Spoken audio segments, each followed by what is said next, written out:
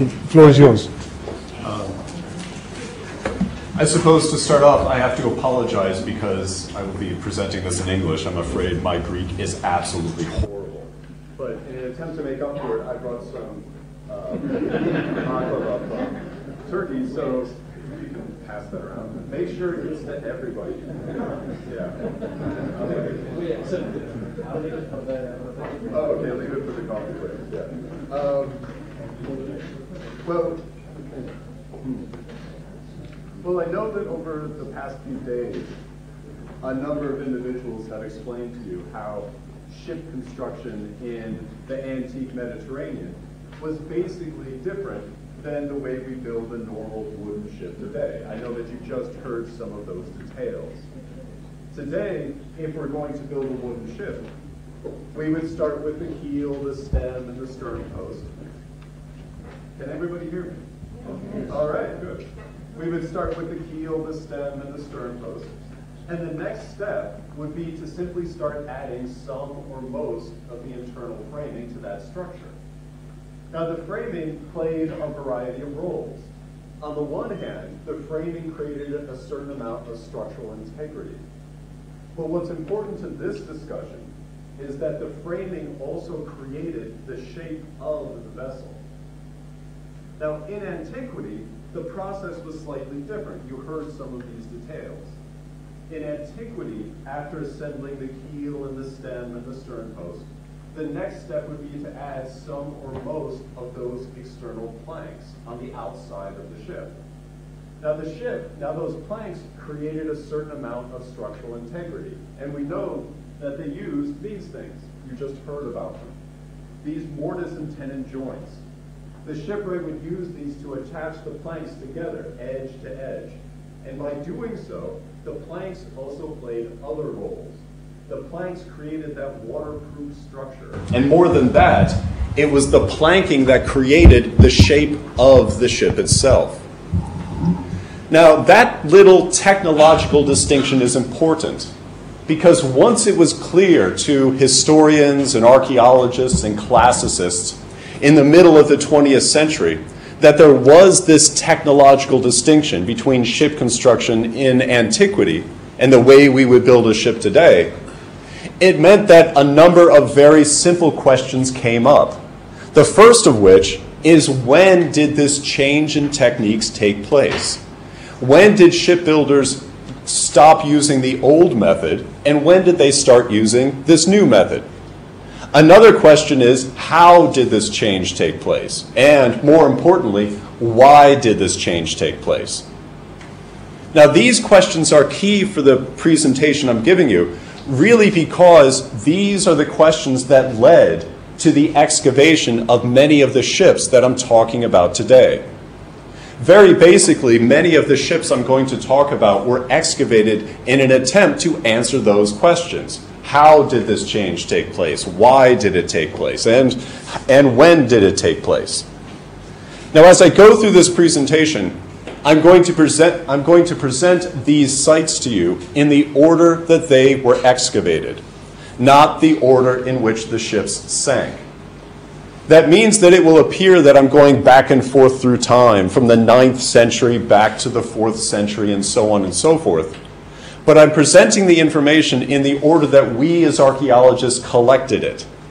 Because by doing so, it gives me the opportunity to demonstrate that as we slowly gathered more information about this technological change, our model of this technological change became a bit more complex bit by bit, to the point where today, this technological change is actually quite complex. It's not a straightforward, simple thing. So that's one thing I'm going to talk about. But the other thing I'll address briefly at the end of this presentation is how people are a part of this technological change. And as I go through this presentation, it will appear that this simply seems to be a shift in methods, a shift in which ship, shipwrights went from doing one thing to doing another. But very fundamentally, there's also an issue of the way that the shipwrights were thinking about the ships the way that they were thinking about them in their head. And so at the end of the presentation, I'll be talking about that as well. So, the first site I want to talk about is one that you've actually just heard a bit about already. This is the site from Yassiada. This is a ship from the 7th century AD. It was excavated between 1961 and 1964. Now, fundamentally, this ship is important today really for two reasons. The first reason is the date of the excavation. This ship was excavated at the very beginning of maritime archaeology as an academic practice. When this excavation was completed, the discipline was less than 10 years old. So, as this excavation was taking place and as it was finished, it demonstrated to other archaeologists and historians that professional archaeology could take place underwater that it was possible to apply these archaeological techniques on a shipwreck underwater and pull out the same sort of important data that we can find on land. Now, what's also important today is actually, oh, it's entirely disappeared. Huh. That's, that's interesting. Well, I'm going to use a little interpretive dance. Um, Basically, what's also important today is the hull material that they found from the 7th century ship at Yassiada. They found about 20 to 25% of the hull preserved on the seafloor, although it's not in this slide. And what's important about that hull material is that they found those mortise and tenon joints in this ship. This is a ship from the 7th century AD. Now, what's particularly interesting, as you just saw, is that the mortise and tenon joints in this vessel are much smaller than the examples from the Roman period. The examples from the Roman period are quite big, they're solid, they're robust, they're very close together. They have pegs locking the tenons together. But the examples from the 7th century, which I apparently don't have a picture of, are actually much smaller the, the tenons from the 7th century ship are about 3 to 5 centimeters wide. They're spaced about 35 to 50 centimeters apart. And more than that, there are no pegs holding them together. So by the middle of the 1960s, what we knew about this technological change was just starting to take shape. In the Roman period, these mortise and tenon joints were big and solid, but yet, by the 7th century AD, by the Byzantine period, they were much smaller. They were insignificant. They were not playing a key role in the strength of the hull. Now, the next ship that was excavated, I know you've just heard some bits about this as well. This is excavated in the late 1960s, and it was also done at the same place, at Yassiada. This is a site off the western coast of Turkey in the Aegean. And as they excavated this site, their knowledge and our knowledge of this model of technological change became more complex. Oh my gosh, there's more stuff missing. well, they found about a little more hull material on the seafloor. In this case, about 25, maybe 30% of the hull was preserved. But Unfortunately, due to a fire in a conservation lab about 20 years ago, most of that hull material was either burned or it's actually now encased in a giant block of, of really a conservation chemical. So we only have rudimentary information about the hull material itself, really just one or two publications. But the mortise and tenon joints that were found in this vessel are this interesting transition between the Roman examples and the Byzantine examples. The examples from this, the 4th century site at Yassiada are slightly bigger than the examples from the Byzantine period. They are about 5 to 7 centimeters wide. They're spaced from about 15 to 30 centimeters apart. And similarly, they have those pegs in them, locking them in place. So, if all my slides keep working, which they're not, can we hook my computer up to this? Is that possible? okay. Let's see. Yeah.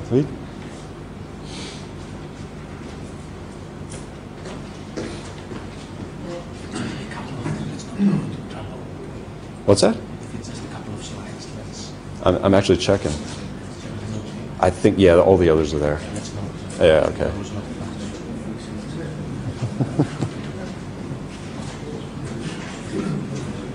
this is exciting, isn't it? Yeah. Well, no, like like pictures aren't there. Yeah. Yeah. Um, all right. So, huh? Can I? No, I can't draw with a marker, can I? no, that's not going to work. What's that? Yeah, I think it's only like two or three pictures that aren't working. All right. Well, anyway. Yeah, I'll have to describe it. I'll use my hands a lot. Regardless, uh, by the early 1970s, in the excavation of this site, which is from the 4th century AD, by the time this excavation was finished in 1974, our model of this technological change was taking some very clear shape. And basically, luckily, we saw most of this picture previously. By the middle of the 1970s, our model of this technological change was rather straightforward and linear. These mortise and tenon joints were getting smaller and smaller and smaller, century by century, century, bit by bit by bit. So it appeared to be this straightforward, linear process. We could almost predict what was going to happen next. So we had this very interesting period of transition in the 7th century AD, we had mortise and tenon joints in ships that were very small. But we also had information from textual sources in the 14th and the 15th centuries that indicated that ships were built in a relatively modern way. So something happened in this period of time. Something happened between the 7th century AD, when ships were being built in the older method, and the 14th or 15th century when ships were being built in a newer method. And it was that particular question, it was that interest that led to the excavation of this site. This is a shipwreck off the southern coast of Turkey. It dates to about the 11th century AD. It was excavated in the late 1970s, between 77 and 79. Now, in a way, there are also two important reasons that this ship is fundamentally key. On the one hand, there's the cargo. This shipwreck contains the largest collection of medieval Islamic glass ever found in antiquity. It's an incredible collection of stuff. If you ever have the opportunity to go to the Bodrum Museum of Underwater Archaeology in Turkey, you can see where most of this glass has actually been reassembled and put on display. You can also see more pictures of the octopus that didn't want to give up all the cargo on the seabed. But what's interesting about this ship is that it does not just contain Islamic material. It also has Byzantine coins and Islamic coins. It has Byzantine weights and Islamic weights. It even has a chess set.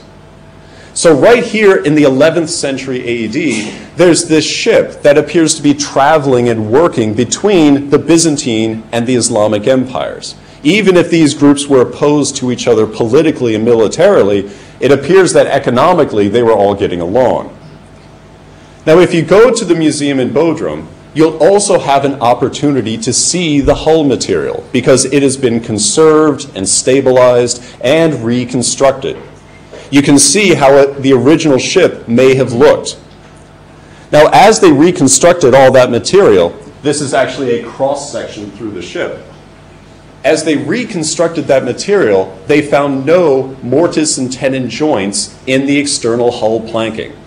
Fundamentally, this ship from the 11th century AD was built in basically a modern way. The frames were in place first. The planks went on the outside second. So, a model of this technological change by the early 1980s still appeared to be rather straightforward. It was going in this nice, clear, linear path. Everything was getting smaller and smaller, and by the 11th century AD, the mortise and tenon joints were gone. But by the 1990s, things began to change our knowledge of this model and its shape began to change radically, really for two reasons. The first was this excavation. This was the one I worked on for my PhD research.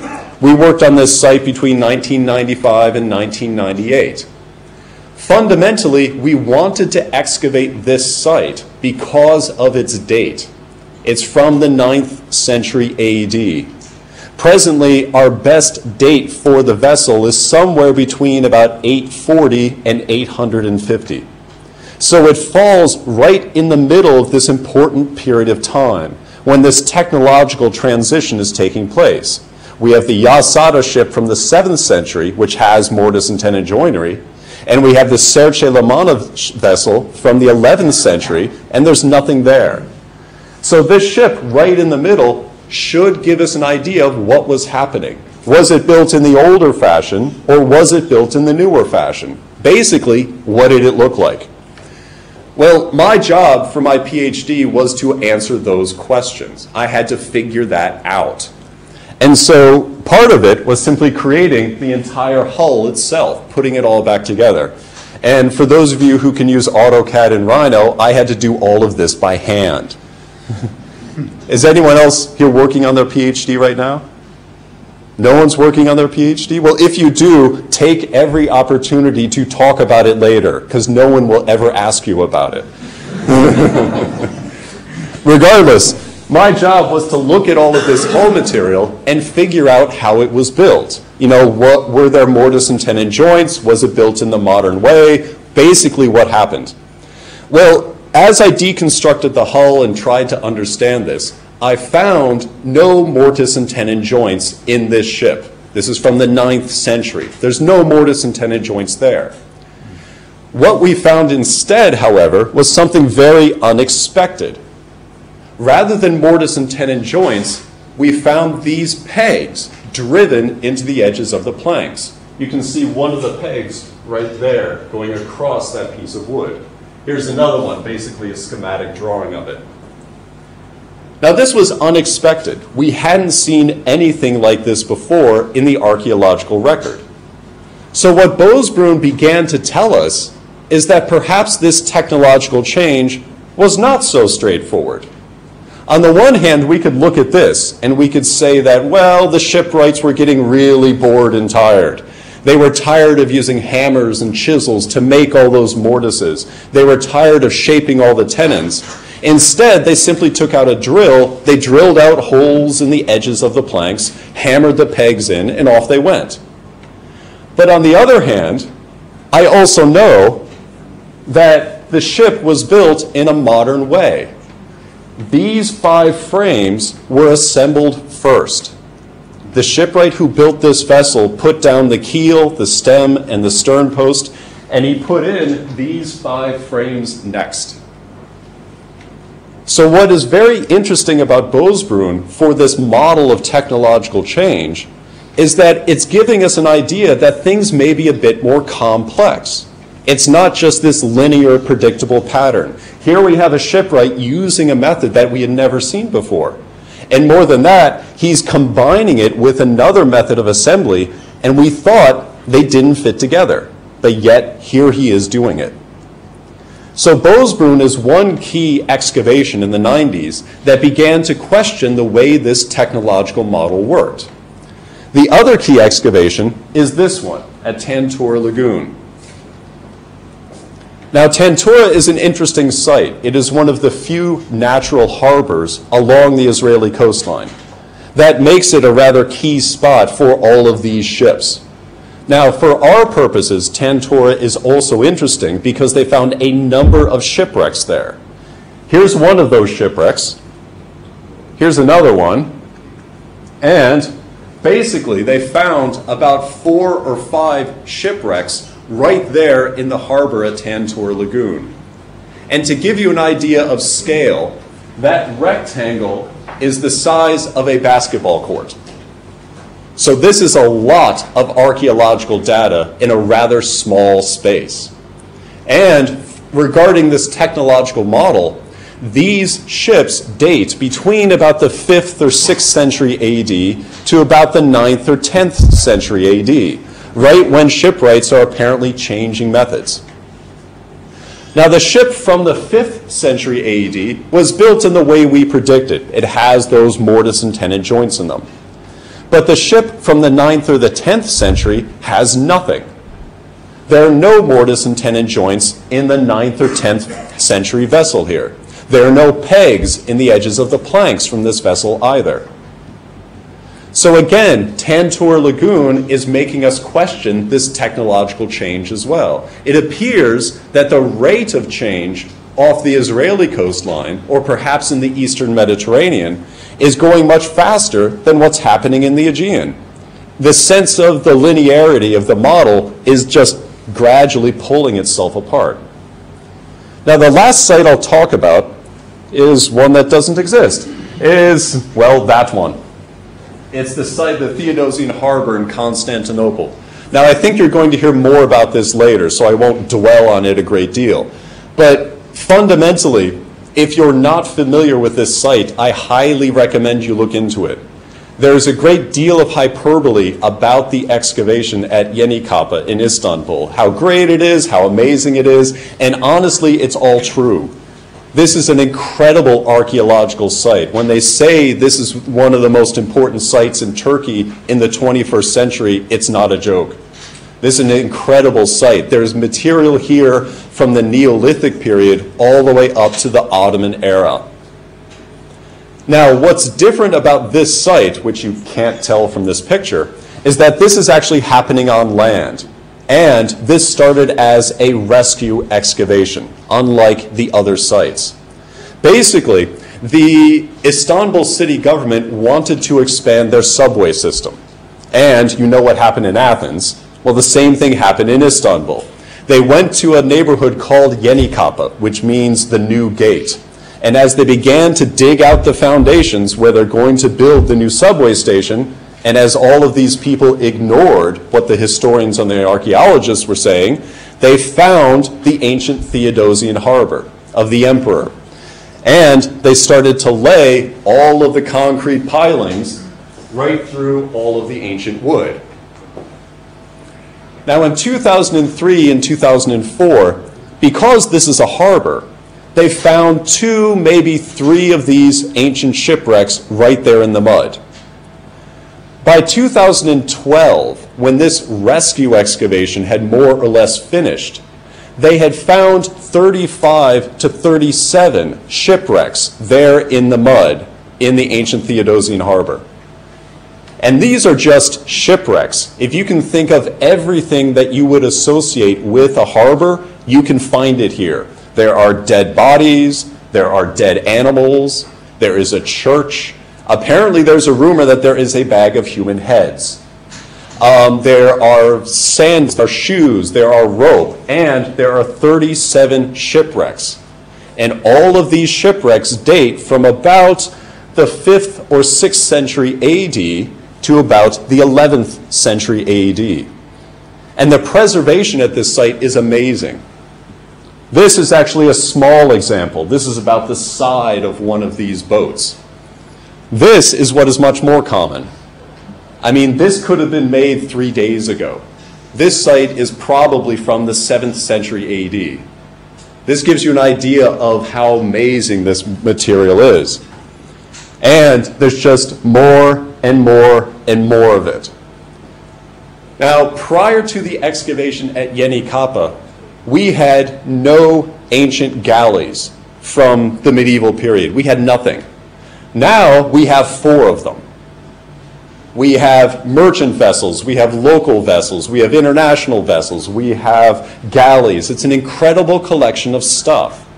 And what's interesting is that they all date to this key period of time when this technological change is taking place. Now, unfortunately, because the excavation of this site finished just recently, in some cases, we don't have a whole lot of data. Very basically, this is the plan of those shipwrecks. the site actually extends a bit farther to the west. There's one or two more over here. But very basically, I color coded these shipwrecks. So, all of the shipwrecks that are in blue are ships that were made with those pegs in the edges of the planks, just like Bozburun. All of the shipwrecks that are red have mortise and tenon joints in them, just like those earlier vessels from the Roman period. all of these ships that are gray, we don't know yet. We, they haven't finished the research on them. Those ships that are in gray could be built in a very modern method. They could be built with mortise and tenon joints. They could have the pegs in the edges. Right now, we simply don't know. Has anyone ever worked on an archaeological site this big? Anyone? Yeah, this is going to take decades to finish. So don't hold your breath. But fundamentally, what's important about the material at uh, Yeni Kapı as well as the material from Bozburun and Tantura is that they're making our model of this technological change much more complex. They're demonstrating that the rates of change are varying in different parts of the Mediterranean. Off the coast of Israel, things appear to be moving faster. In the Aegean, things appear to be going more slowly, but yet shipwrights also appear to be trying out different methods in different ways. They're using pegs in the edges of the planks. They're combining them with other techniques that we hadn't seen before. And more than that, we don't know what's happening in the Western Mediterranean. We don't have a whole lot of data from that area.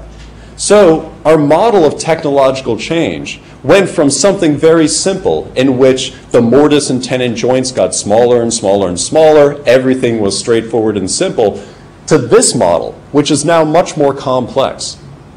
And from my point of view, that's a very important thing to remember.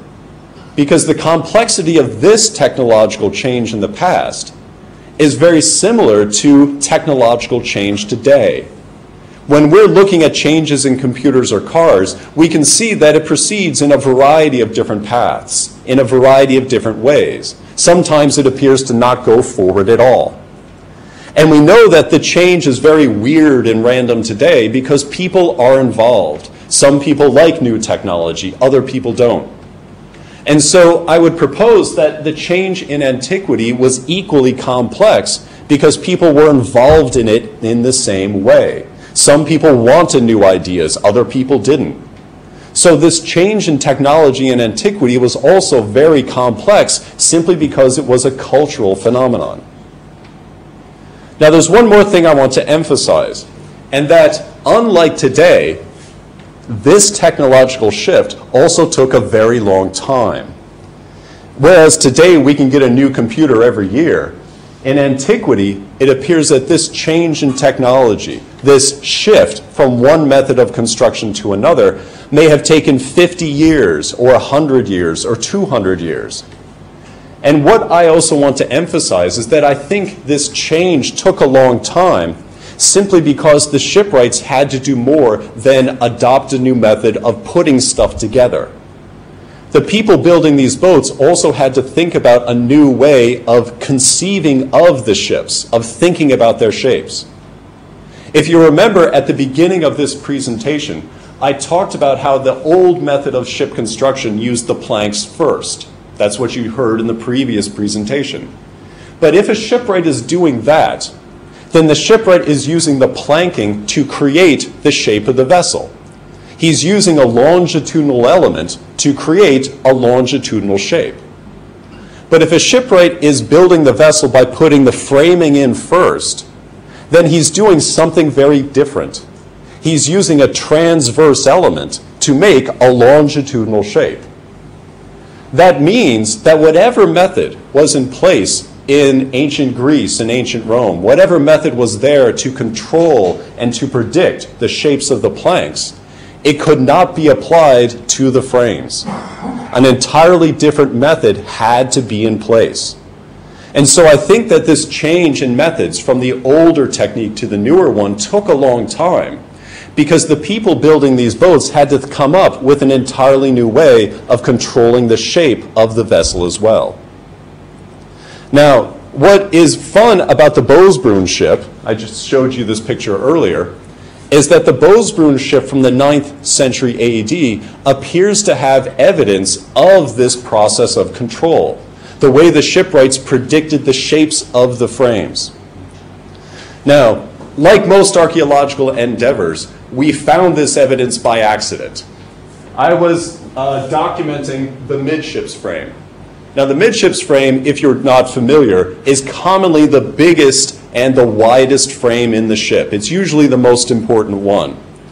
Commonly, it's the one that dictates the entire shape of the rest of the vessel. I was documenting the midships frame for my PhD, and I found something called a scribe mark. Anybody know what that is? Any guesses? Okay, I'm going to make something up. Basically, imagine if you're simply giving instructions to someone. You would mark on a piece of wood, cut the wood here, nail the wood there.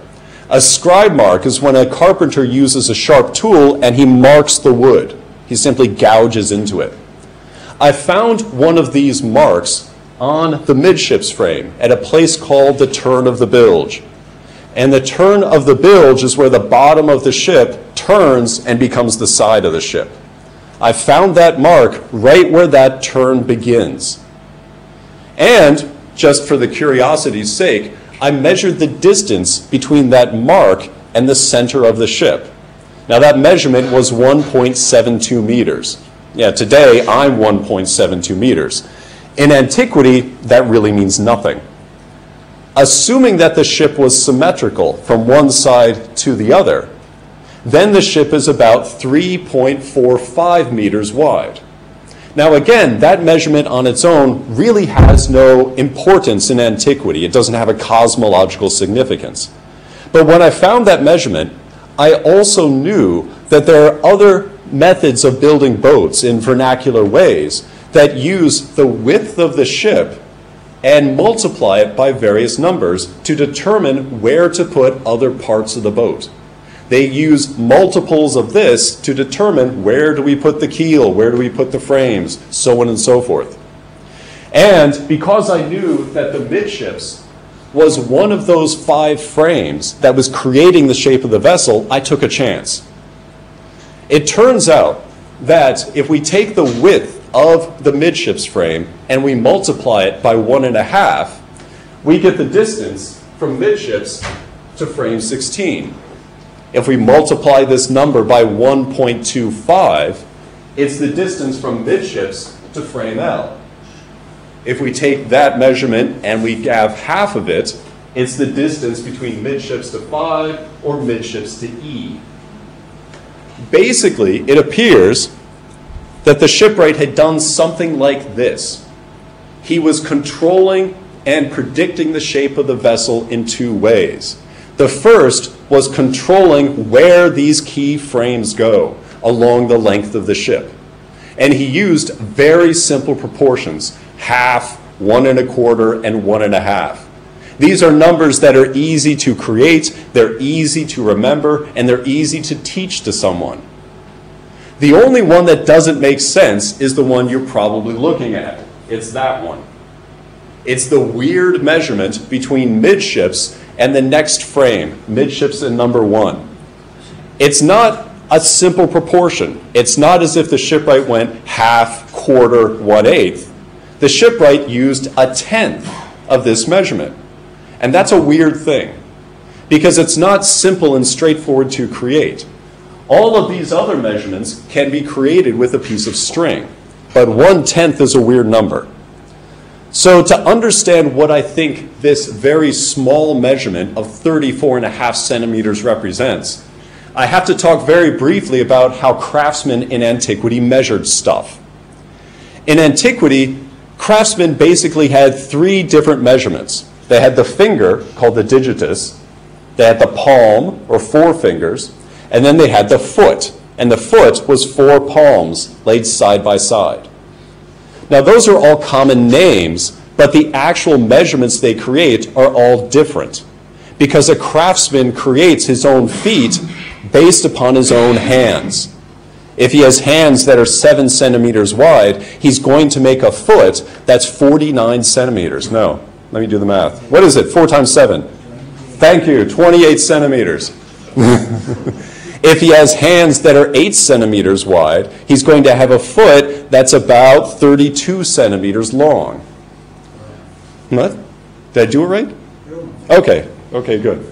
So, what I think that small measurement represents is the foot that the shipwright made as he was creating his vessel. The shipwright made his own standard base length of 34 and a half centimeters because as he put his four hands together, that's the length he created. And if we use this short measurement of 34 and a half centimeters, we can then make all of these other proportions. Here's one base length. Here's five. Here's five, 12 and a half, and 15. And what's interesting is that the shipwright may have used this measurement in other ways on this vessel as well. As I said, the shipwright has to control the shape of the vessel in two ways. He has to control where these frames go along the length of the ship, but he also has to control the shapes of the frames as well. He has to predict what they're going to look like. And I'm proposing that this is how he did it. Now, I think Kostas, I think you're familiar with this drawing? Yes. As I think you know, there are a variety of ways to make the shape of a ship. We can use computers. In antiquity, or rather during the Renaissance and afterwards, other people would use complex mathematics. They would make arcs and curves with all kinds of tangents. But in more traditional or vernacular methods of construction, people would actually use a set of physical molds. This is an example from 19th century Greece. It has five different parts. And the shipwright who's building the boat is able to manipulate the molds in a variety of ways to make the shape he wants. He can control the height of the frame above the keel, the width of the frame, the curves, so on and so forth. What I believe the shipwright did who built the vessel at Bozburun is that he used these two molds to make those five frames. One mold controls the height, the other mold controls the breadth. And it's possible that he used multiples of that base length of 34 and a half centimeters to build these molds and to predict those frames. Now, very basically, the breadth mold at the top determines the width of those five frames. He would align that little mark on the mold with the center line of the ship. And he would then know that the, the frame has to be that wide. And he has different sets of marks to do so. And as you can see, those different marks on the breadth mold are all multiples or divisions of this base length of 34 and a half centimeters. This one is two thirds. That's two of those measurements. That's four, and that's five. And then I also think the shipwright did something similar with this rising mold. With a, a, series of very simple multiples of that base length, he could dictate how high the frames rise above the keel. And to give you an idea of this process, this is what I think happened. The shipwright would start off with really just the trunk of a tree, and he had one branch sticking out at one end. And then he cut the entire thing in half lengthwise, so it opened out, and then he has all the wood exposed to himself. And then the shipwright started off by making a, a, vertical line, which is the center line of the ship, and a horizontal line, which represents the top of the keel. And then he would take the rising mold. This is step two. And with the rising mold, he would then create two other horizontal lines. Those lines would determine how high the frame rises above the keel as well as the thickness of the frame itself. And then he could use the breadth mold here in step three, and he could determine how wide the frame is that he wants to make. Maybe he's making the midships frame, or frame 5, or frame L, or frame 16. He has all the marks on the mold to do that. He could dictate the curves, and then he can actually flip the breadth mold over and create the curve of the frame from the keel going up to the flat part. Down here in number five, this is the projected shape of the frame on the wood. And here in number six, this is the projected shape, and this is the shape of the midships frame that we found on the Bozburun vessel. So they really fit rather well. And it's possible to adapt this method to the smaller frames on the ship. It's basically the same thing. You just need a smaller piece of wood.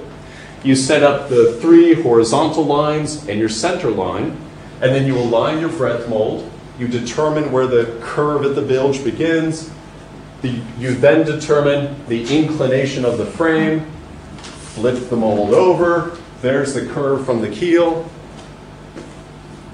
and then you basically have your curve of the frame.